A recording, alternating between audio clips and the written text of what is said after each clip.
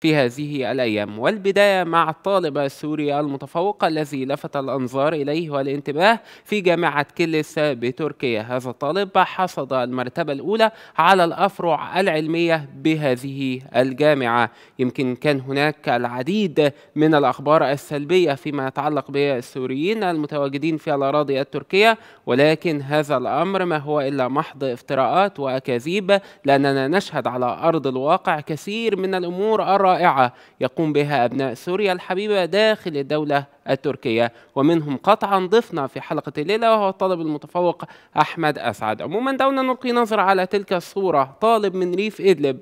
يحصد المرتبة الأولى على الأفرع العلمية في جامعة كيلس أمام حضراتكم صورة للشاب السوري المتفوق ما شاء الله وهو يحمل شهادات التقدير وشهادة التخرج. دعونا نلقي نظرة أيضا على الصورة التالية التي لدينا.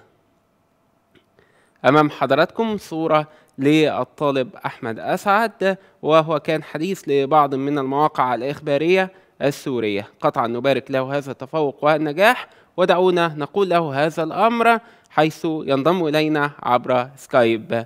أهلا بك يا أبو حميد. أهلا بك أستاذ الكريم مليون مبروك على التفوق ومزيد من النجاح يا رب دايما. الله يبارك فيك يا رب ومشكور جدا على الاستضافة الحلوة المقدمين الرائع. الله يبارك فيك. بداية كيف استطعت أن تحصد هذه المرتبة؟ الرفيعة للغاية داخل إحدى الجامعات التركية وهي جامعة كيليس. نعم بداية أحب أنوه أنه مو بس أنا الشخص الوحيد المتفوق في تركيا.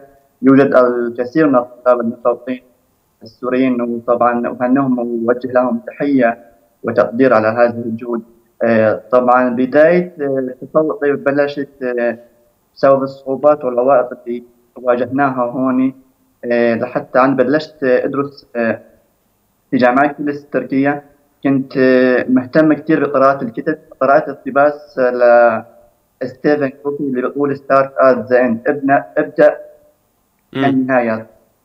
بداية قراءة الاقتباس حسيت ابدأ من النهاية كيف نحن دائما نبلش من بداية الشيء هو بيقول لك ابدأ من النهاية. دائما أنت الشيء لازم توصل له لازم تكون عارف فيه.